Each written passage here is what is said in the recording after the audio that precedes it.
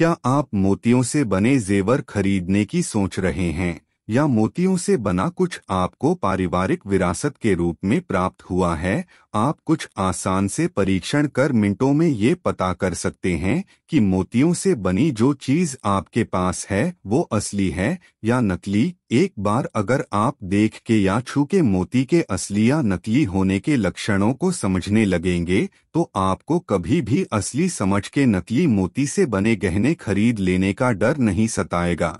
मोती को ध्यान से देखकर किए जाने वाले परीक्षण।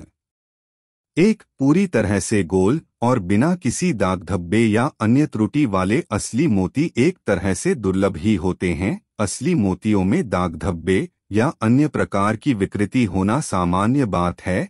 असली मोतियों की बाहरी सतहें भी उन मोतियों के अलग अलग भागों में प्रकाश को अलग अलग तरह से प्रतिबिंबित कर सकती हैं। नकली मोती अक्सर उम्मीद से भी ज़्यादा पूर्ण होते हैं, वे पूरे गोल होते हैं, उनकी सतहों के हर भाग में एक समान चमक होती है, और उन पर कोई निशान नहीं होता।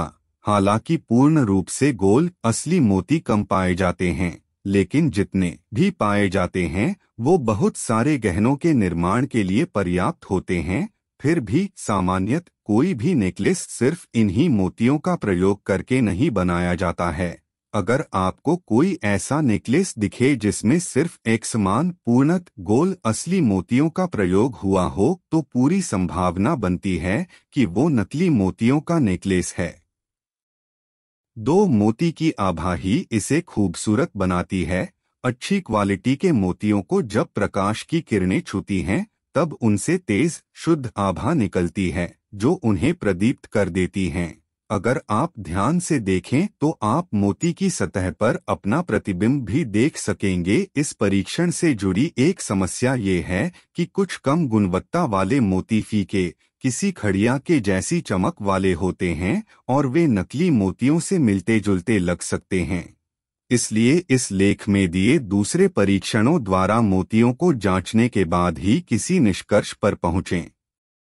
तीन अच्छी क्वालिटी के मोतियों की कीमत अक्सर उनके ओवरटोन के आधार पर लगाई जाती है, वह छुपा हुआ रंग जो किसी असली मोती के सतह पर प्रकाश की किरणों के पड़ने के बाद दिखता है। ऐसा कुछ शायद ही किसी नकली मोती में होता हो, क्योंकि इसकी नकल करना बेहद मुश्किल है। अगर आपके मोती पर प्रकाश की किरण के पड़ने पर वह थोड़ा रंगीन सा लगे तो पूरी संभावना है कि वह असली है, गुलाबी। यह हाथीदांत जैसा रंग सफ़ेद मोतियों के दो ऐसे ओवरटोन हैं, जिनको सबसे ज़्यादा पसंद किया जाता है। लेकिन इनके अलावा भी कई तरह के रंग संभव हैं, खासकर गहरे रंग के मोतियों के लिए तरह तरह के ओवरटोन हो सकते हैं। चार, जो मोती किसी लड़ी में पिरोए गए होते हैं, या किसी नेकलेस में लगाए गए होते हैं, उनमें धागा डालने के लिए छेद बनाए गए होते हैं। आप किसी मोती के ऐसे छेद को ध्यान से देखें तो आप ये जान सकते हैं कि वो असली है या नकली। आगे वो खास चीज़ें बताई गई हैं, जिन पर आपको ध्यान देना है। छेद के आसपास के किनारे सही आकार प्रकार के होने चाहिए।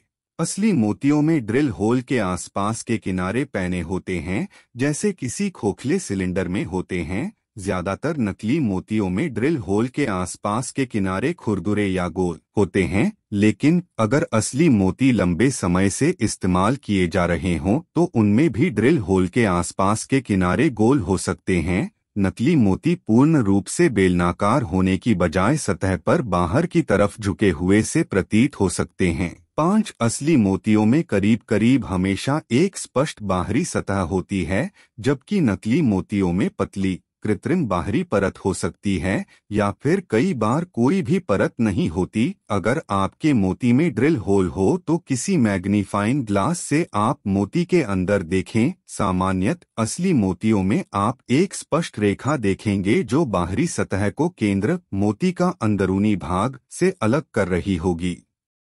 ऐसी ही और जानकारी के लिए हमारा चैनल रत्नभाग्य सब्सक्राइब करें और बेल आइकन ज़रूर दबाएँ ताकि आप कोई भी अपडेट बिल्कुल भी मिस ना कर पाए।